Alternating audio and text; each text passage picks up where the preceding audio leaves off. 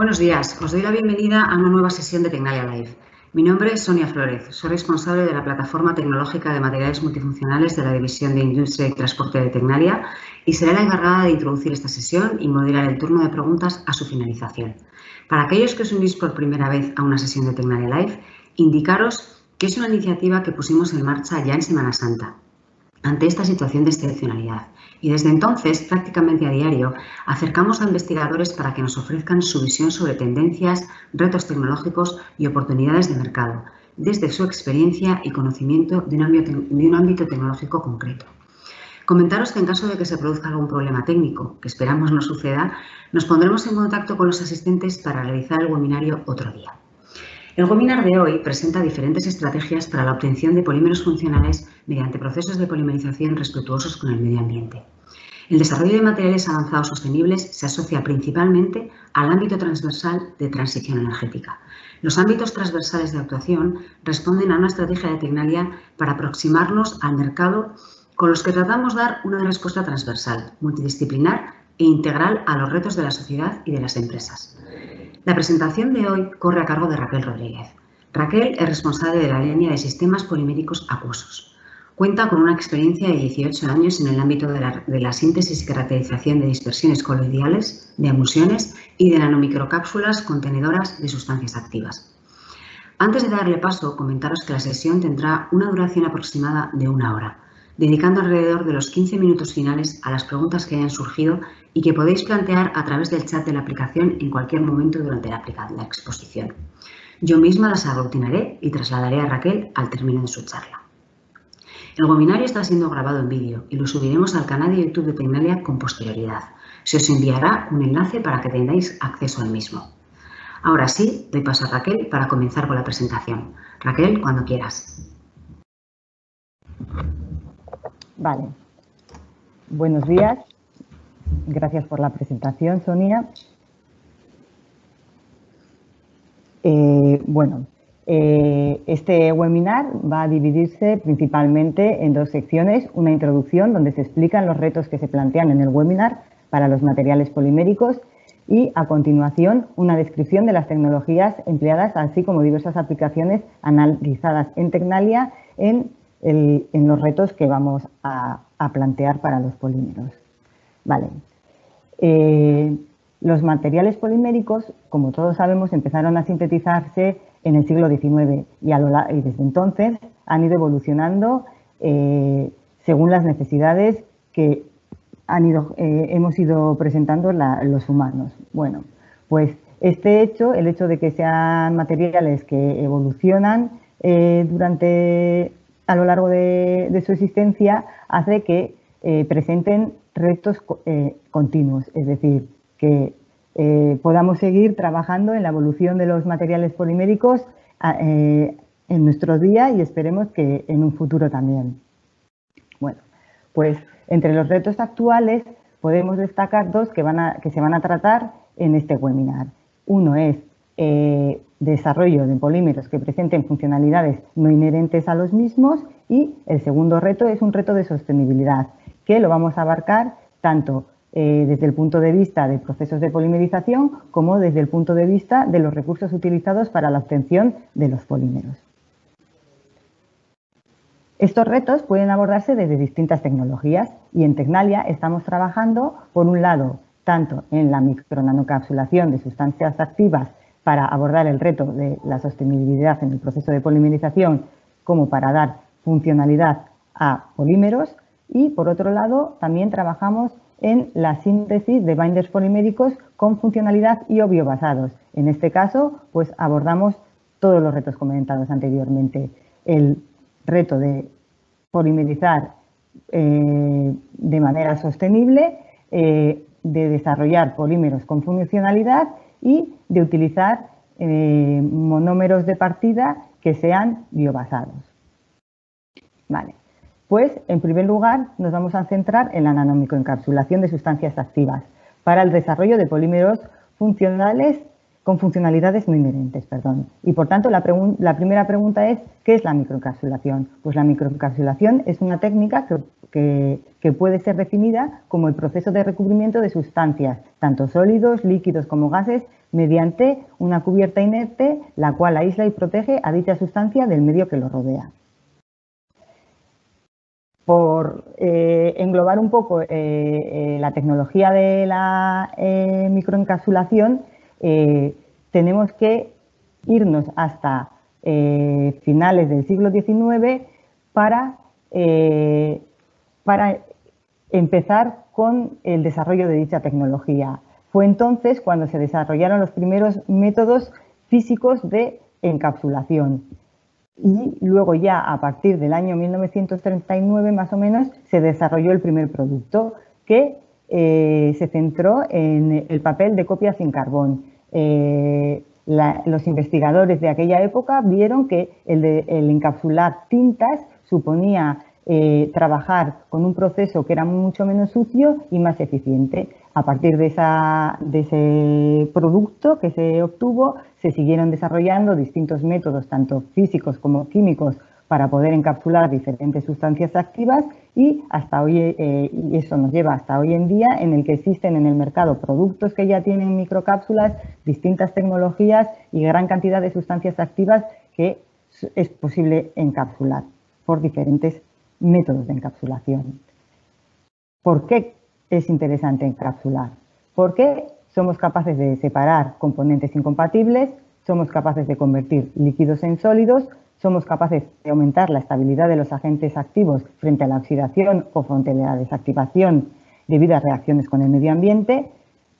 El hecho de encapsular nos permite enmascarar olores, gustos, la actividad de agentes encapsulados, proteger el medio en el que se encuentran las microcápsulas del agente activo y poder activarlo en el momento que nos interese y, por lo tanto, también aportar una liberación controlada de una sustancia activa. Como hemos comentado, uno de nuestros retos es desarrollar este tipo de cápsulas mediante un proceso que sea respetuoso con el medio ambiente. Por eso, nuestra tecnología de encapsulación se centra en procesos de polimerización en medio disperso, concretamente en medio acuoso. Para el desarrollo de estas cápsulas eh, eh, utilizamos eh, dos tipos de procesos de polimerización. Polimerizaciones en suspensión que nos permite obtener microcápsulas y polimerizaciones en minimulsión que nos permite obtener nanocápsulas. En el caso de las polimerizaciones en suspensión, lo que tenemos es una fase orgánica y una fase acuosa que las mezclamos en nuestro reactor, aplicamos agitación y temperatura y conseguimos que las gotas que se nos han formado, eh, que se nos forman en el reactor, pasen a ser microcápsulas. El tamaño de microcápsulas con el que solemos trabajar suele ser entre 10 y 500 micras y en el eh, esto para el caso de las polimerizaciones en suspensión. Como he comentado, cuando queremos obtener cápsulas de menor tamaño, nanocápsulas, trabajamos en, polimerización en minimisión. Este, este, tipo de polimerización es una polimerización que denominamos en dos etapas. En una primera etapa necesitamos eh, realizar un paso de minimulsificación.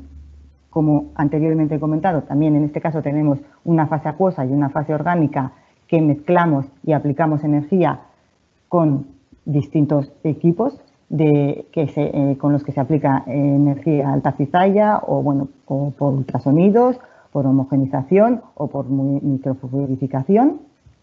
Una vez que tenemos este, esta mezcla eh, a la que hemos aplicado la energía que llamamos minimulsión, la trasladamos a nuestro reactor. También aplicamos agitación y temperatura y las gotas que hemos obtenido en nuestra etapa de minimulsificación pasan a ser nuestras nanocápsulas. En este caso solemos trabajar en rangos entre 100 y 500 nanómetros. Una vez que hemos visto con qué procesos podemos obtener nuestras cápsulas, el siguiente paso es ¿qué podemos encapsular? Pues se pueden encapsular infinidad de agentes activos. Entre, uno, entre ellos podemos eh, destacar pues, antioxidantes, biocidas, catalizadores, resinas, agentes de curado, enzimas, retardantes a la llama, aceites esenciales, aceites lubricantes, óxidos metálicos, pesticidas, materiales de cambio de fase, pigmentos, disolventes, agua, compuestos solubles en agua y la encapsulación de estos agentes activos lo que nos va a dar lugar es a obtener una funcionalidad que puede ser una funcionalidad que necesite una, para ser activa una liberación o que no necesite una liberación. ¿Qué funcionalidades podemos conseguir? Pues sistemas antimicrobianos, sistemas self-healing, autorreparantes, eh, que eviten la formación de biocidas, anticorrosivos, que nos permitan controlar, eh, que nos permitan tener una gestión térmica de un sistema, propiedades barrera, por ejemplo, propiedades barrera frente al oxígeno, eliminación de olores, cambios de color, sistemas self-cleaning, autolimpiables. Y para que estas cápsulas sean activas, como he dicho, eh, tenemos que eh, o bien aplicar un estímulo externo y que se nos libere el agente activo que hemos encapsulado o que aplicando un estímulo externo no se libere dicho agente activo. Los estímulos externos con los que solemos trabajar son temperaturas, cambios de pH, de humedad, un golpe, una fractura, luz, un campo magnético, en el caso de la liberación controlada, pues podemos tener ejemplos como los sistemas antimicrobianos. Tenemos una cápsula que tiene un agente antimicrobiano e, y lo que tenemos que conseguir es que este agente se libere a lo largo del tiempo. En el caso de los autorreparantes, lo mismo, tenemos un agente autorreparante y lo que queremos es que en un determinado momento el agente autorreparante que tenemos en el interior de nuestra cápsula se libere y nos dé lugar a una reparación. Por otro lado, también, como he comentado, podemos tener cápsulas que son activas pero no necesitan una liberación, como es el caso de la gestión térmica. Es decir, son cápsulas que, por ejemplo, nos van a amortiguar un pico de temperatura, pero que no se necesita que se libere el componente que está en el interior. Simplemente aplicando una temperatura se activa la cápsula. Por otro lado, también tenemos, podemos desarrollar cápsulas que no necesitan ningún tipo de estímulo externo. Es decir, el hecho de tener un agente activo en su interior o también en la superficie de la cápsula puede hacer que estas cápsulas nos den unas funcionalidades, que nos estén aportando unas propiedades en las matrices poliméricas, por ejemplo, en las que los estemos integrando. Esto sería el caso de las propiedades barrera o, por ejemplo, el caso de las cápsulas que pueden dar propiedades autolimpiables. Concretamente, en el caso de la liberación controlada, eh, la sustancia microencapsulada está controlada fundamentalmente por la naturaleza y las características de la corteza de las microcápsulas. Y como he dicho, los estímulos que podemos aplicar son temperatura, luz ultravioleta, pH, eh, un estímulo mecánico, un campo magnético, un campo eléctrico. Estos estímulos lo que van a hacer es que en nuestra, en nuestra cápsula, en la corteza, se produzcan o bien unos cambios químicos o unos cambios físicos. Eh, puede haber cambios en la porosidad de la corteza, controlado por cambios estructurales, una desintegración de la corteza por ruptura química de las reticulaciones que pueden existir en la misma o esta corteza puede tener unos grupos protectores que al aplicarles el estímulo se descomponen y hacen que la cápsula, eh, que la corteza se descomponga y se pueda liberar nuestro agente activo. Por otro lado, también existen detonantes físicos, es decir, que, por ejemplo, la corteza de la cápsula se rompa porque existe una presión interna, porque se funda la cápsula, porque haya un cambio de fase en esa corteza y esto hace que se genere una porosidad en, nuestra, eh, en la corteza de la cápsula o que la cápsula, la corteza presente ciertos nanomateriales que sean activos ante ciertos estímulos y esto hace que en el momento en el que estamos aplicando el estímulo, estas partículas sean capaces, por ejemplo, de desintegrar la corteza polimérica. Bueno, una vez que tenemos nuestra cápsula sintetizada, seleccionado nuestro agente activo para que nos dé una cierta funcionalidad, siempre tenemos que ver que estas cápsulas son capaces de soportar también los procesos de polimerización eh, de, las, de las matrices en las que las vamos a introducir. Es decir, tienen que soportar, en el caso de materiales termoplásticos, si vamos a introducir nuestras cápsulas en un material termoplástico, procesos de extrusión en los que se va a aplicar eh, cizallas y temperatura, Posteriormente puede haber procesos de inyección o de soplado o lo que fuera, dependiendo del producto que queramos obtener. Y por otro lado, en el caso de los materiales termoestables, tenemos que eh, ser conscientes de que estas cápsulas tienen que soportar tanto el mezclado de la cápsula con una resina y eh, también la temperatura, por ejemplo, en el caso de un adhesivo, eh, la temperatura de curado de dicho adhesivo. Vale. Eh, dentro de Tecnalia, en el campo de la microencapsulación, hemos trabajado en distintas aplicaciones y una de ellas es los sistemas autorreparantes. ¿Y qué nos aportan eh, esta tecnología? ¿Qué nos permite desarrollar? Pues los sistemas autorreparantes lo que nos permite es prolongar la vida útil de los polímeros, bien sean recubrimientos, adhesivos, materiales termoplásticos, composites. Y mm, en Tecnalia en la tecnología de autorreparación eh, basada en las microcápsulas, eh, hemos desarrollado una patente y eh, basada en la solución que se encuentra en el estado del arte, pero con una gran diferenciación. En el estado del arte lo que encontramos son cápsulas que tienen un agente autorreparante que se introducen dentro de una matriz polimérica. Por otra parte, también se introduce un catalizador y cuando se produce una grieta en, vamos a decir, en un polímero, eh, la cápsula rompe, libera el agente autorreparante y este tiene que encontrarse con el catalizador que se ha distribuido de forma aleatoria en la matriz polimérica y de este modo se produce la reparación de la zona dañada.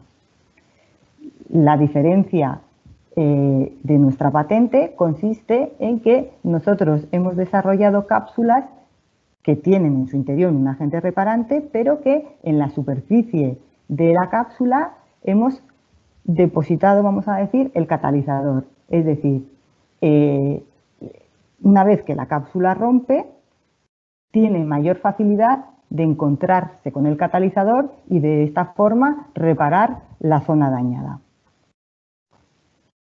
Esta tecnología eh, hemos comprobado su eficiencia en diferentes sectores. Eh, uno de ellos ha sido el sector aeroespacial, ya que los drivers de este sector están muy alienados con la idea de alargar el tiempo de vida útil de, por ejemplo, los aviones, porque eh, vamos a alargar la vida útil y vamos a alargar también la fiabilidad de los mismos. Eh, vamos a conseguir, alargando la vida útil, reducir el número de, inspecciones y de mantenimiento, por lo tanto, eh, el coste que supone este proceso. Y también vamos a reducir el consumo energético y la generación de residuos. Es decir, muchas veces, eh, bueno, actualmente cuando se produce una reparación en un composite de un que se utiliza en, el sector aeroespacial, pues hay que poner eh, hay que quitar la zona dañada y poner una zona, un parche nuevo. En este caso, en el caso de tener las cápsulas, pues lo que haríamos sería alargar el tiempo de vida. Eh, por ello, probamos la eficiencia de las cápsulas tanto en composites utilizados en aeronáutica. Vimos que había una cierta reparación, pero que esta reparación no era muy elevada porque en el caso de que se produzca una fractura en un composite, no solo se rompe la parte polimérica, sino también se dañan las fibras del composite y esa parte eh, las cápsulas no pueden eh, recuperarla. Sin embargo, en el caso de incorporar nuestras cápsulas en resinas utilizadas en, el sector aeroespacial, sí que vimos que eh, se producía una reparación de la zona dañada y que las cápsulas presentaban unas eficiencias de hasta el 80%. Aquí en la gráfica podemos ver, esta es, eh, bueno, el ensayo que se hace es un ensayo de TDCB, se produce una grieta por eh, esta zona en la que se encuentra la resina con las cápsulas, eh, nos da un valor de, de resistencia volvemos a unir ambas piezas, aplicamos un ciclo de reparación y volvemos a, y volvemos a hacer el ensayo. De esta forma conseguimos valorar la eficiencia de nuestro sistema.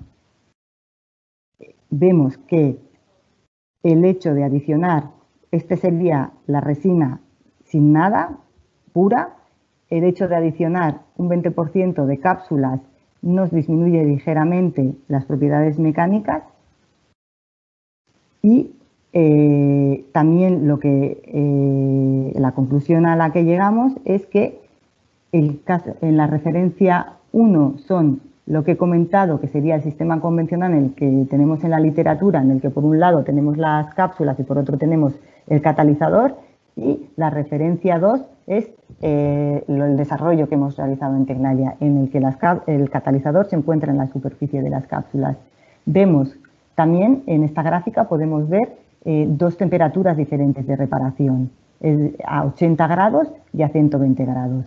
Y la conclusión a la que llegamos es que si comparamos la referencia 1 a 80 grados con la referencia 2 a 80 grados, vemos que el hecho de utilizar cápsulas que tienen catalizador en la superficie aumenta un 10% la eficiencia del, sistema de reparación. Y en el caso de utilizar una temperatura de reparación de 120 grados, vemos que la eficiencia de reparación aumenta en un 25% eh, aproximadamente. Es decir, lo que hemos demostrado es que el hecho de tener localizadas las cápsulas en la superficie, o las, perdón, el catalizador en la superficie de las cápsulas hace que la eficiencia de reparación sea mucho más elevada. Otro sistema en el que hemos trabajado eh, con el concepto de autorreparación es en adhesivos epoxi. En este caso, el ensayo que realizamos para analizar la eficiencia fue un ensayo, preparamos probetas a solape simple y se hicieron ensayos de tracción. Comentar que en el caso de comparar un sistema convencional con el sistema All-in-One, vemos que se produce el mismo efecto. Es decir, que el sistema All-in-One es, eh, en este caso, un 20% eh, superior en eficiencia de reparación que el caso de un sistema convencional, aplicando un ciclo de reparación de 2 horas a 120 grados. Eh, en este caso, bueno, hacemos el ensayo de tracción, tenemos un resultado, un valor, eh, volvemos a unir eh, los sustratos, aplicamos temperatura y volvemos a hacer el ensayo de tracción. De esta forma somos capaces de calcular el porcentaje de eficiencia. Bueno, otro parámetro que vemos que controla eh, la eficiencia de reparación es el tiempo en el eh, que, mantenemos el ciclo de reparación. Vemos que si pasamos de 2 horas a 12 horas, nuestra eficiencia de reparación sube de un 25% a un 42%. Y finalmente también hemos comprobado que es muy importante el sistema de reparación, es decir, la selección del agente activo y del catalizador. Aquí podemos ver que dependiendo del sistema que seleccionemos, en este caso resina A, catalizador A o resina B, catalizador B, somos capaces de aumentar la eficiencia de reparación de un 42% a un 116%. Por lo que es muy importante conocer eh, eh, las reactividades entre los agentes de curado y los catalizadores. Por otra parte, también hemos integrado estas cápsulas en materiales termoplásticos, eh, concretamente en polipropileno. Eh, hay que destacar que en este tipo de sistemas eh, el porcentaje de cápsulas que utilizamos es inferior al caso de los materiales termoestables. Anteriormente estábamos hablando de incorporar un 20% de microcápsulas en las resinas y en este caso estamos hablando de incorporar un 5% de microcápsulas en el polipropileno. Pues en primer lugar lo que, eh, lo que hicimos fue eh, introducir nuestras cápsulas eh, en, en, el proceso de extrusión, vimos que eran capaces de soportar las temperaturas y el proceso de extrusión y una vez que conseguimos nuestros pellets de polipropileno con las microcápsulas, los inyectamos y conseguimos, en este caso, probetas para hacer ensayos de flexión. Vale. que fue eh, el ensayo mecánico que utilizamos para eh, validar nuestra tecnología de reparación. En este caso realizamos ensayos de flexión sin que la probeta rompiera. Una vez que realizamos el ensayo lo metimos en una estufa durante el tiempo y temperatura de reparación. En este caso fueron 12 horas a 80 grados, en el que estamos mostrando en esta gráfica. Y volvimos a hacer el ensayo de flexión. Eh, de esta gráfica, las conclusiones que podemos sacar es que el hecho de introducir cápsulas en el polipropileno sí que nos disminuye eh, las propiedades iniciales del polipropileno, pero el hecho de eh, aplicar nuestro ciclo de reparación en el sistema que tiene las cápsulas hace que consigamos reparar el daño sufrido en el polipropileno tras el ensayo de flexión en un 106%. Eh, por lo tanto, estos sistemas de ahorro de reparación, ya que son sistemas que son útiles para alargar el tiempo de vida de los materiales poliméricos, las tendencias del mercado nos dicen que tienen futuro en tanto en recubrimientos para sectores como la automoción, el espacio, las torres eólicas, en adhesivos, lo mismo para eh, aeronáutica, automoción, en componentes, en el caso del interior de vehículos, en los paneles de instrumentos, en las puertas, en los muelles que se utilizan en el exterior del vehículo, tanto en las molduras como en los parachoques, o también pueden ser útiles en tuberías que, eh, que pueden ser utilizadas para agua, gas u otros líquidos. Otra aplicación en la que hemos eh, trabajado es en la aplicación eh, para el control de la gestión térmica. En este caso, el material que, con el que trabajamos, con el, agente activo que hemos encapsulado, es un material de cambio de fase. Estos materiales son capaces de acumular energía en forma de calor latente, es decir, son materiales que pasan, eh, cambian de fase. En este caso eh, hemos trabajado con parafinas, es decir, tenemos un material en estado sólido, aplicamos una temperatura, esta parafina funde a una temperatura determinada, al fundir eh, acumula la energía y una vez que se enfría es capaz de liberar este calor latente que ha acumulado. Vale, pues este tipo de materiales nos sirve, como he comentado, para almacenar energía en forma de calor y pueden eh, emitir este calor a posteriori, es decir, pueden servir para mm, gestionar térmicamente, por ejemplo, un habitáculo. O también pueden servir como termorreguladores, es decir, pueden reducir las, eh, las hostilidades térmicas que esté sufriendo una, una pieza en torno siempre a la temperatura de cambio de fase del PCM. Estos PCMs, como sí, como, como tal, hemos visto que tienen unas aplicaciones en el campo de la gestión térmica, pero eh, si los utilizamos como tal, van a tener, eh, depende en qué uso, ciertos problemas, porque, como hemos comentado, cambian de fase sólida a líquida. Por lo tanto, el hecho de microencapsular estos PCM hace que la cápsula actúe como contenedor. Y eh, la actuación del contenedor hace también que evite la contaminación del PCM con otros materiales que puedan estar a su alrededor. El problema que presentan, en el caso de las parafinas, es que tienen una baja transferencia de calor. Y el hecho de, en este caso, proponemos la nanoencapsulación de los PCMs porque nos va a mejorar la transferencia térmica. Es decir, el hecho de nanoencapsular y tener un gran área superficial va a hacer que la transferencia de calor sea superior. Y el desarrollo de estas nanocápsulas lo que nos van a dar respuestas a las exigencias del mercado que demandan materiales con capacidad de almacenar, disipar y transmitir energía térmica. El estudio que realizamos, eh, en, el dicho estudio, vimos que eh, el hecho de incorporar parafina en nuestros procesos de polimerización para encapsularla nos afectaba a las velocidades de polimerización. Es decir, la velocidad de polimerización está controlada por la cantidad de parafina. Cuanta mayor eh, parafina intentamos encapsular, nuestra velocidad de polimerización es más lenta. Por otra parte, también vimos que existía un límite, es decir, a partir de un 60% de material que intentamos encapsular era imposible. Existía una separación de fase y ya no era viable encapsular más material. Pero el hecho de encapsular un 60% de parafina nos eh, permitió desarrollar unas cápsulas que eran capaces de almacenar 140 julios por gramo. Como podéis ver en la imagen de la izquierda, estas cápsulas, a pesar de ser nanométricas, eh, somos capaces de obtenerlas en formato polvo.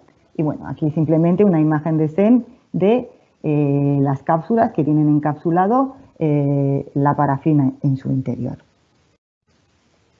Por otra parte, esta tecnología también nos permite desarrollar fluidos térmicos. si comparamos las cápsulas sintetizadas que, con el PCM en su interior con el agua, pudimos ver que la capacidad calorífica de, nuestra, de nuestro sistema, de nuestra eh, dispersión de cápsulas eh, en agua, era un 44% superior a la del agua y que presentaban una viscosidad similar a la del agua. Por lo tanto, consideramos que este tipo de, productos también puede ser eh, interesante utilizarlos como fluidos térmicos. En cuanto a las posibles aplicaciones de las cápsulas que contengan parafina en su interior, el mercado nos dice que pueden ser utilizadas eh, en el sector de la construcción, tanto introducirlas en cemento, pladur, recubrimientos, para aligeramientos de fachadas. En textiles se ha trabajado y se está trabajando bastante, tanto en ropa deportiva como para el interior de vehículos. En el caso de espumas de poliuretano también para interior de vehículos, aislamiento térmico. Y en plásticos en el interior de vehículos para que nos eh, acondicione eh, el habitáculo. Por otra parte, en el caso del fluido térmico, eh, este tipo de sistemas pueden ser utilizados en intercambiadores de calor, en los microcanales y también para refrigerar moldes. Otra aplicación en la que hemos eh, trabajado es en el desensamblado de uniones adhesivas para, para facilitar el reciclaje de materiales que están unidos mediante un adhesivo. Y para ello eh, lo que hicimos fue desarrollar unas microcápsulas termoexpandibles que en su interior contienen un blowing agent que al aplicarles calor son capaces de hincharse. Entonces, si estas cápsulas las introducimos en una matriz polimérica, en este caso fue un adhesivo. Al aplicarles calor deberían hincharse y generar unos puntos débiles de forma que las piezas unidas se pudieran desunir fácilmente y por lo tanto si por ejemplo son eh, materiales eh, disimilares pudieran llevar una reciclabilidad individual y más eficiente. El estudio que realizamos fue simplemente una prueba de concepto en la que vimos que sí que éramos capaces de sintetizar cápsulas que tenían en su interior un blowing agent y que al aplicar temperatura el volumen de las cápsulas, como podéis ver en estas dos imágenes, eh, aumentaba considerablemente. Pero observamos que al introducir estas cápsulas en adhesivos de distinta naturaleza, epoxis, siliconas, poliuretanos, no éramos capaces de ver este efecto, el efecto de generar los puntos débiles. Por lo tanto, lo que he comentado anteriormente, sí que tenemos que ver qué funcionalidad queremos, eh, qué es lo que tenemos que introducir para conseguir esa funcionalidad, pero las cápsulas no solo tienen que ser activas fuera de nuestra matriz polimérica, sino también tenemos que conseguir que sean activas dentro de nuestra matriz polimérica, que hay casos en los que pues, es más difícil conseguir este objetivo. Por otro lado, eh, la microencapsulación también nos puede permitir eh, utilizar la tecnología para la detección de fallos. Es decir, eh, ser capaces de tener nuestras cápsulas integradas en una matriz polimérica, que ésta vaya gastándose con el tiempo y llegar a una zona en la que, por ejemplo, por cambios de color o, como vamos a ver posteriormente, por cambios de olor, seamos capaces de saber que esa pieza que tenemos ya la tenemos que sustituir por una nueva. Si no, si seguimos utilizándola, esa pieza en breve va a sufrir un fracaso. Como he comentado, esta detección de fallos puede eh, conseguirse mediante la microencapsulación de pigmentos. Aquí podemos ver unas zonas en las que se ven cómo las cápsulas han roto y están liberando el color. Esto es una foto ya más de escala detalle de cómo las cápsulas cuando rompen liberan el agente que tienen en el interior. Y por otra parte, también la detección de fallos no, puede, no debe no tiene por qué darse solo por un cambio de color, sino también puede darse por un cambio de olor en el, sitio en el que estemos. En este caso, hemos trabajado con la encapsulación de agentes activos. Aquí, para demostrar que éramos capaces de, eh, que habíamos sido capaces de encapsular eh, dichos agentes activos que fueron aceites esenciales, eh, realizamos un DSC al aceite esencial y un DSC, DSC perdón, a la cápsula con el aceite esencial. Y vimos que realmente teníamos eh, aceite esencial en nuestras cápsulas. Pero este tipo de aceites esenciales no solamente sirven para, eh, para eh, la detección de fallos, sino que también pueden tener otras aplicaciones, porque suelen, pueden ser utilizados también como biocidas ya que se trata de materiales no tóxicos, por ejemplo, y que pueden estar en contacto con alimentos. En este caso, la idea sería la encapsulación de un biocida y que se produzca su liberación de una forma lenta. Actualmente sí que se adicionan también biocidas directamente, por ejemplo, en un recubrimiento, pero el hecho de encapsular dichos biocidas va a hacer que la, capacidad de acción del biocida más duradera, a lo largo del tiempo. otra aplicación en la que también hemos trabajado es en la aceleración del curado de adhesivos. En este caso, el proceso de, síntesis de las microcápsulas fue un poco más eh, diferente. Se trataba de emulsiones water y no water, es decir, una doble emulsión, debido al agente de curado que tuvimos que encapsular para el control del el curado del adhesivo en el que posteriormente introdujimos nuestras cápsulas. En este caso, como podéis ver, también eh, controlamos el hecho de tener nuestro agente eh, de curado encapsulado mediante DSC. En esta imagen podéis ver eh, cápsulas que, que, contenían el agente de curado, pero que al romper se ha liberado. Y eh, lo que hicimos para caracterizar eh, el curado del adhesivo fue hacer un ensayo eh, reológico.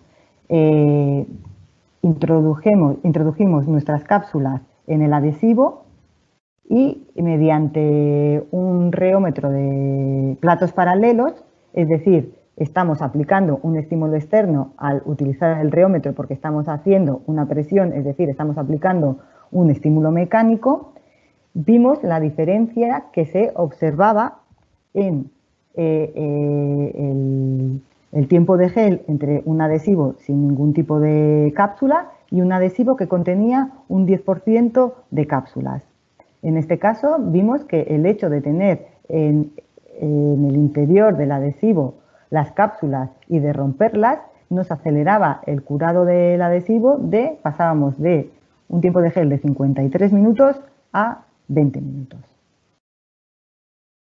Por lo tanto, como resumen, eh, comentar que las microcápsulas, la tecnología de microencapsulación nos permite aportar, eh, aportar funcionalidad a demanda, es decir, dependiendo del agente activo que encapsulemos, somos capaces de dar una funcionalidad, que este tipo de aditivos por denominarlos de alguna manera, porque al final son aditivos, son de fácil manipulación porque son en formato polvo, a priori no implican una modificación de los procesos de transformación actuales, en el caso de, eh, polímeros termoestables, extrusora, inyectora, soplado, etc. O en el caso de polímeros eh, perdón, en el caso de polímeros termoplásticos en el caso de polímeros termoestables en el que eh, incorporaríamos las cápsulas mediante eh, una agitación.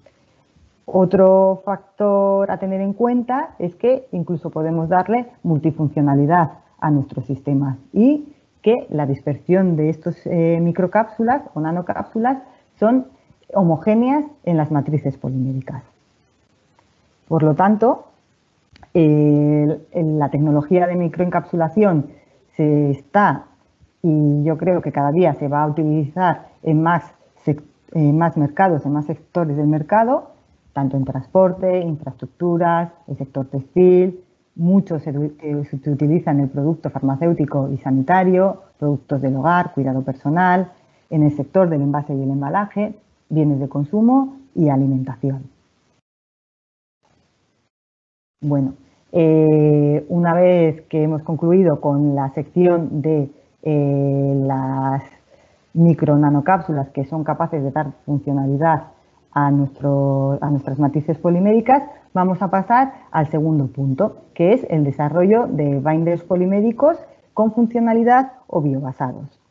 En este caso, eh, estos binders poliméricos pueden ser utilizados tanto en recubrimientos como adhesivos base agua y lo que hacen es, eh, lo que conseguimos es aportar una funcionalidad a dichos productos mediante el control de la composición y la estructura del baño polimérico. En este caso también somos capaces de obtener funcionalidades como sistemas antimicrobianos, autorreparantes, eh, evitar eh, los biocidas, fungicidas, sistemas hidrofóbicos, self-cleaning, propiedades barrera, también temas de gestión térmica.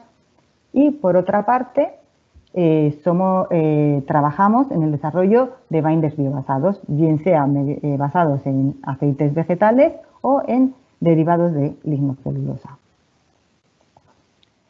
En cuanto a los binders poliméricos, estos binders, como hemos comentado, los procesos de polimerización que utilizamos son respetuosos con el medio ambiente, por lo tanto, son binders que se denominan binders base agua sus principales características es que eh, la emisión de Vox eh, que presentan es muy baja, esto hace que se reduzcan los riesgos ambientales y de salud, también hace que exista una eh, menor probabilidad de que los residuos que generamos, pues por ejemplo, tengan un riesgo de incendio y cuando están en estado húmedo son fáciles de limpiar con agua. El principal reto de estos binders base agua es que sustituyan a los sistemas base solvente, es decir, eh, que sean capaces de presentar las mismas prestaciones que los sistemas base solvente que se utilizan actualmente, pero que tienen, por ejemplo, la problemática de la emisión de los compuestos orgánicos volátiles, de los BOX. Para obtener estos binders eh, poliméricos eh, como hemos comentado, pues se desarrollan mediante eh, polimerizaciones respetuosas con el medio ambiente. En este caso se trabajan eh, con polimerizaciones en emulsión y polimerizaciones en minimulsión. La diferencia que existe entre una y otra es principalmente las nucleaciones que se producen en cada uno de los procesos de polimerización. Y comentar que este tipo de procesos lo que nos permiten conseguir son eh, lo que se denominan product by process eh, eh, sistemas, es decir, que somos capaces de controlar las propiedades de nuestro sistema final gracias al control de la composición y estructura de nuestro binder polimérico. lo que se consigue en este caso en las, tras las polimerizaciones son nanopartículas Generalmente se trabaja con nanopartículas entre 50 y 500 nanómetros y una vez que tenemos la dispersión coloidal de nuestras nanopartículas, lo que necesitamos conseguir, tanto en el caso de recubrimientos como adhesivos, es una buena formación de film. Es decir, que eh, la fase acuosa en la que está dispersa el polímero se evapore, eh, estas eh, bueno, una vez que se evapora este agua, las partículas se deforman cuál es, hay una interdifusión y se consigue obtener un film uniforme. eh, este tipo de sistemas eh, base agua, en el caso de recubrimientos, eh, son utilizados tanto en la industria general, para protección, en automoción, todo el tema de recubrimientos arquitectónicos, madera, para packaging también, cada vez más hay que decir, y hay otros sectores que también utilizan este tipo de recubrimientos base agua. En el caso de los adhesivos, pues eh, nos encontramos en sectores como la encuadernación, artes gráficas, el mundo del mueble, de la construcción, los electrodomésticos, dispositivos médicos, otra vez eh, soluciones para empaque de papel, envase y embalaje, cintas, etiquetas, eh, laminados también en el caso del sector de envase y embalaje y automoción. Como he comentado, el principal reto de estos eh, sistemas base agua es poder llegar a sustituir a los sistemas base solvente, por lo que el hecho de aportar nuevas funcionalidades a estos sistemas base agua va a hacer que nos encontremos mucho más cerca o incluso que podamos superar eh, las propiedades de los sistemas base solvente. Para conseguir estos eh, desarrollos nos basamos en lo que denominamos los sistemas híbridos que pueden ser sistemas orgánico-inorgánico o orgánico-orgánico y que pueden tener diferentes morfologías. Es decir, que en el caso de sistemas inorgánicos y orgánicos podamos tener nuestra parte inorgánica o en el interior de nuestras nanopartículas o en la superficie de las mismas. Esto va a depender siempre de la funcionalidad que le queramos aportar a nuestro binder.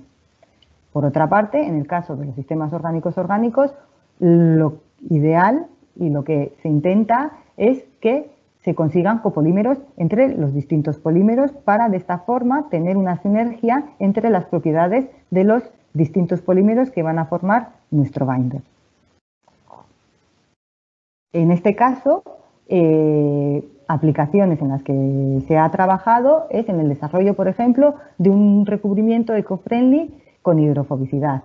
En este caso se trabajó en un sistema híbrido eh, acrílico siloxano, en el que tenemos, vamos a tener al copolimerizar ambos eh, materiales orgánicos una sinergia entre las propiedades del sistema acrílico y, del siloxano. En el caso del sistema acrílico, estos siempre presentan una buena formación de bifilm, adhesión, brillo, transparencia, buenas propiedades mecánicas, resistencia a la intemperie, pero tienen una baja resistencia al agua y una baja resistencia química. Por otro lado, el siloxano, el PDMS en este caso, lo que nos aporta son propiedades térmicas, resistencia a la corrosión, resistencia al agua, impermeabilidad, pero eh, tienen unas bajas propiedades mecánicas y tienen un elevado coste. El hecho de tener un sistema híbrido acrílico-siloxano lo que va a hacer es que como he dicho, tengamos una sinergia entre ambas propiedades. Una buena formación de film, adhesión, brillo, transparencia, propiedades mecánicas y por otro lado unas buenas propiedades térmicas, resistencia a la corrosión, al agua, impermeabilidad relacionadas con el siloxano. En este caso, lo que, podemos, eh, lo que observamos en el estudio fue que el hecho de obtener estos sistemas híbridos hace que pasemos de ángulos de contacto de 70 en el caso de acrílicos puros a ángulos de contacto superiores a 90 en el momento de incorporar nuestro eh, siloxano al sistema. Lo que observamos también es que el hecho de aumentar, por ejemplo, de un 12,5 a un 25%, a un 25 de siloxano en nuestro sistema no consigue que nuestro ángulo de contacto sigue aumentando. Es decir, eh, debido a la morfología de las partículas, al sistema, existe un límite en el ángulo de contacto que podemos conseguir con, eh, con los polímeros.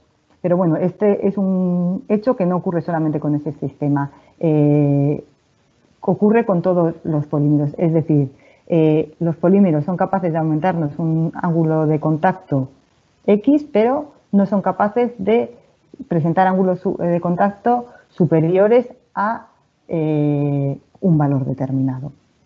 Por otro lado, estos sistemas también presentan una absorción de agua superior en el caso, inferior perdón, en el caso de presentar el PDMS. Y por otro lado, también observamos que la resistencia térmica de nuestros sistemas se eh, incrementan eh, de forma significativa al incorporar eh, PDMS en nuestros binders acrílicos. Por otra parte, también estamos trabajando en el desarrollo de sistemas, en este caso orgánico e inorgánico, para conseguir eh, buenas propiedades eh, mecánicas relacionadas con la parte orgánica y una resistencia a la abrasión eh, relacionada con la parte inorgánica. Concretamente, estamos trabajando con óxidos de silicio que, aparte de darnos la resistencia a la abrasión, nos va a dar también hidrofobicidad a nuestro sistema. Finalmente, nos vamos a centrar en el último punto, que eran eh, los binders poliméricos biobasados. La motivación de trabajar con eh, sistemas biobasados viene dada porque existe una conciencia ambiental por las regulaciones, la calificación de materias primas como tóxicas. Hay algunas materias primas que eh, se están legislando y a futuro posiblemente esté prohibido su uso. Eh, también en el caso de los materiales, de las materias primas, de los monómeros provenientes de los recursos fósiles, existe una volatilidad en los precios asociados al precio del petróleo y también eh, el hecho de utilizar estos nuevos biomonómeros puede hacer que se consigan productos con nuevas prestaciones, con unas prestaciones adicionales. ¿Cómo conseguirlo? Existen distintas vías de conseguir eh, obtener productos biobasados, utilizando macromoléculas naturales que presentan sus propiedades, sintetizando polímeros a partir de monómeros renovables o usando, eh, eh, polímeros biobasados como aditivos. Por otra parte, esta tecnología actualmente presenta unos grandes retos, que es el control del coste de la materia prima, la capacidad de fabricación de estos biomonómeros y garantizar que estamos en los mismos estándares de calidad que los productos actuales. Es decir, que los productos que consigamos tengan las mismas prestaciones que los productos actuales. Eh, lo que parece es eh, que la tendencia del mercado es, debido a, las motivaciones explicadas anteriormente, es que cada vez se va a tender más a utilizar estos productos eh, o al desarrollo de productos biobasados, incluso en el campo de las emulsiones poliméricas. Aquí se ve una comparativa de lo que en principio se utilizó en el año 2016 y en la cantidad de producto biobasado que va a ser utilizado en el 2024 en distintos sectores, en pinturas y recubrimientos, pinturas y recubrimientos para papeles y cartón, adhesivos y otros sectores, otros productos, perdón. La aplicación de estos recubrimientos biobasados eh, parece que se está centrando tanto en el mundo de la automoción, en el mundo de la madera en el mundo del envase y el embalaje principalmente, aunque también hay sectores como la construcción y el, sector salud que también están trabajando en ello. Eh, en este campo, eh, en Tecnalia, estamos eh, actualmente trabajando en un proyecto europeo que está subvencionado por la BBI y en este proyecto eh, nuestro objetivo eh, es, bueno, y ha sido, en un primer lugar, eh, sintetizar un biomonómero procedente de la dignocelulosa. se trata de una isosorbida y bueno, en, en, Tecnalia hay distintos grupos de investigación y tenemos un grupo que se dedica eh, exclusivamente al desarrollo de diferentes tipos de monómeros, eh, de biomonómeros que proceden de distintas biomasas. En este caso, pues como he comentado, eh, se ha desarrollado un biomonómero que procede de, una fracción de, la lignocelulosa, concretamente de, bueno, a de la lignocelulosa se consigue la celulosa, de la celulosa la isosorbida y se ha conseguido desarrollar este biomonómero. Una vez desarrollado el biomonómero, el objetivo del, eh, proyecto fue, es también eh, probar que este biomonómero es capaz de producir, eh, es capaz de, con este biomonómero somos capaces de obtener productos reales, es decir, adhesivos, recubrimientos y otro tipo de productos. En nuestro caso nos centramos en la síntesis de poliuretanos. Pensamos que, bueno, en el caso de los poliuretanos, sabemos que el poliuretano se consigue mediante, a partir de la síntesis del isocianato y el diol y el isocianato es un material de partida que presenta alta toxicidad. Por lo tanto, nuestro objetivo en el proyecto es el desarrollo de poliuretanos en ausencia de isocianato, lo que se denominan NIPUS, Non-Isocyanate Polyurethanes. En este caso, lo que, en lo que estamos trabajando es en la síntesis de la isosorbida desarrollada por nuestros compañeros Eh, esta isosorbida la hacemos reaccionar con aminas de diferente funcionalidad para conseguir nuestro poliuretano, nuestro NIPU. La reacción que tiene lugar es una reacción de policondensación y los objetivos que tenemos marcados en este, concretamente en este proyecto es conseguir eh, dispersiones de NIPUS que tengan un contenido en sólidos entre un 10 y un 40%, un peso molecular entre 10.000 y 30.000, un tamaño de partícula de unas 0,2 micras, un grado de polimerización superior al 75% y una TG inferior a menos 20 grados. Actualmente hemos sido capaces de conseguir eh, dispersiones de un 20% de sólidos, tamaños de partícula de 200 nanómetros, grados de polimerización superiores al 75%, TGs inferiores a, 40, a menos 40 grados, pero tenemos eh, un problema en cuanto a la obtención de pesos moleculares. Es decir, estas moléculas, estos biomonómeros, eh, no presentan las mismas reactividades que los eh, productos, que los monómeros convencionales. Por lo tanto, el, campo de estudio es muy amplio. Otro ámbito en el que también estamos, en el que estamos trabajando es en la sustitución de parte del monómero proveniente de recursos fósiles por biomonómeros.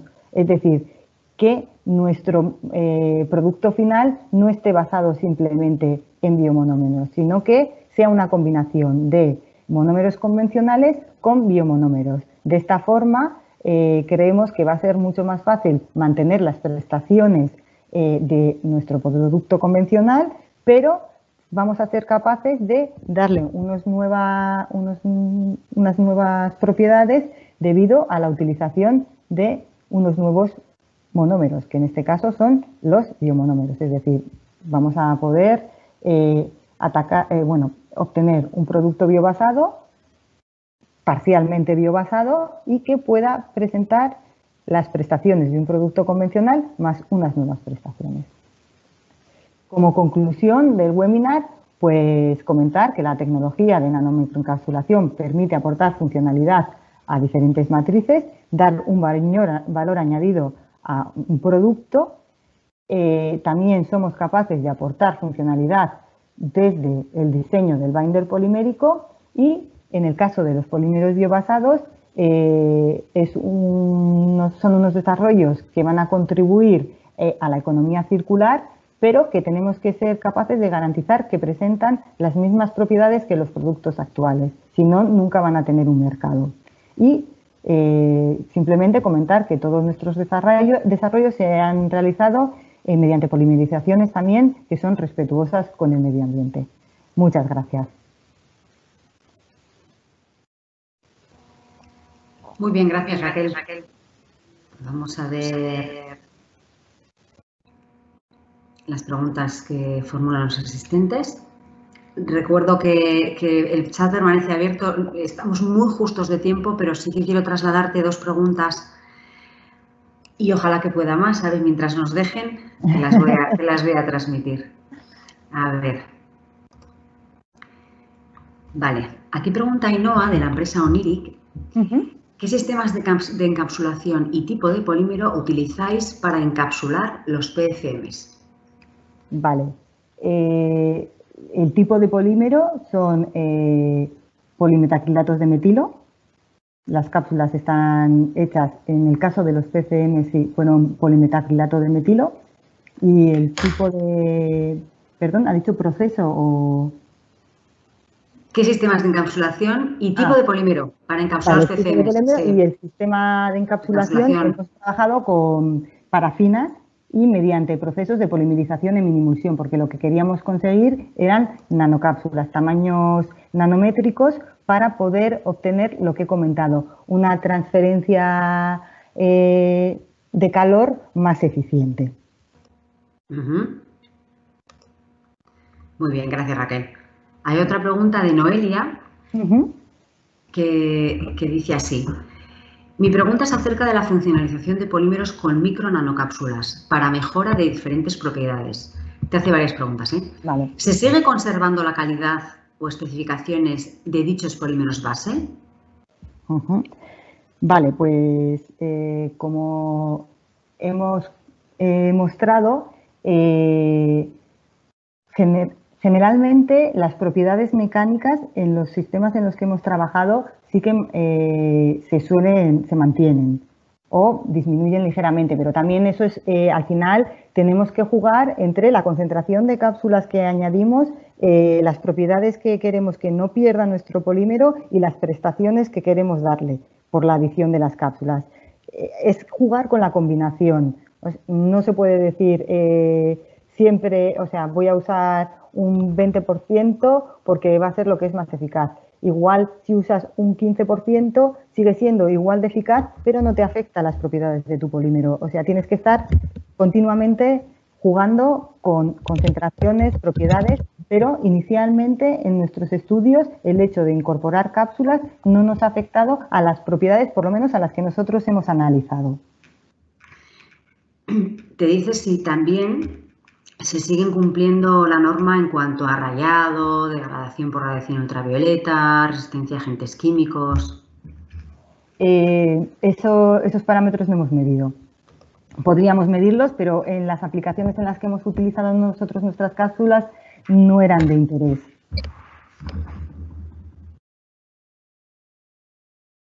Vale. Eh, Aquí tienes una pregunta referente a la aceleración de curado. y eh, dice si se puede acelerar cualquier formulación adhesiva, si se puede acelerar el curado de cualquier formulación adhesiva. Vale, eh, pues en cuanto a la aceleración del curado, eh, tenemos que tener en cuenta, en primer lugar, el sistema adhesivo. Es decir, un sistema prepolimerizado, como los que hemos enseñado, un, un binder polimérico no tendría en principio mucho sentido intentar acelerar el curado porque al final ya está prepolimerizado y lo que hace es evaporar el agua y tú ya tienes tu adhesivo. Pero en el caso de tener eh, sistemas eh, que suelen ser eh, que tiene que haber una reacción química para que se dé ese curado, en ese caso sí que se pueden utilizar, pues dependiendo del tipo de, de, resina que estemos utilizando, se pueden encapsular diferentes sistemas, como pueden ser o la propia resina, o el catalizador, o por ejemplo en el caso de eh, si queremos acelerar el curado de siliconas o de poliuretanos monocomponentes, podemos encapsular agua, es decir, dependiendo de, eh, de la resina o del adhesivo, podemos encapsular diferentes componentes que van a hacer que se nos acelere el curado. Ok, hasta que nos diga producción que podemos continuar, yo voy a continuar haciendo las preguntas que están, eh, formulando los asistentes. Y aquí hay una que dice, te pregunta si es posible acelerar el proceso de autorreparación de un material. Vale. Eh, claro, nosotros hemos mostrado eh, procesos de reparación que necesitan tiempo y temperatura. sí que es posible acelerar el proceso de, reparación porque, como he comentado, nosotros hemos mostrado tiempo-temperatura porque lo que hemos utilizado son una resina, en este caso ha sido una resina epoxi con un catalizador que necesitaban una temperatura para poder dar el curado. Por ejemplo, en el caso de poder, de tener que encapsular un, disolvente por ejemplo, para un sistema eh, termoplástico o para un caucho, que simplemente el hecho de que rompa la cápsula y que se libere ese disolvente va a hacer que se recupere la zona, eh, no vamos a necesitar, por ejemplo, ninguna, ninguna temperatura, simplemente sería el tiempo necesario para que eh, el, material se recomponga o en, este, en nuestro caso también necesitamos cierto tiempo y temperatura por el diseño de las cápsulas que hemos hecho. Si hacemos otro diseño de cápsulas con otro agente de curado y, otro catalizador,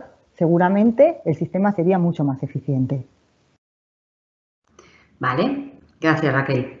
Roser, Roser pregunta, al introducir las cápsulas en el adhesivo, ¿se incrementa la viscosidad? ¿Se aporta color? Eh, no, la viscosidad eh, no se incrementa. Bueno, quiero decir, depende de la concentración de cápsulas que introduzcamos, claro. Es decir, eh, el hecho de, por ejemplo, de introducir un 20% de cápsulas, en nuestro caso, no ha incrementado la viscosidad.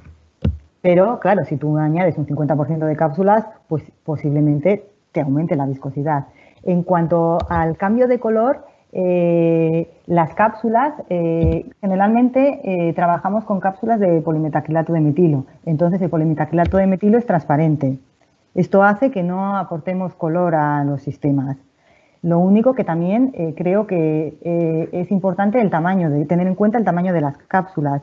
Cuanto más pequeñas sean, más fácil va a ser que que no sé si tienen una buena distribución, una distribución homogénea de las mismas en la matriz polimérica, que no, se, no, que, no presente ningún cambio de, color eh, en el sistema. Vale. Y ya por último, Pablo pregunta, ¿a qué se, debe, se puede deber los, los, bajos pesos moleculares que estáis obteniendo en las formulaciones para obtener eh, libres de isocianato?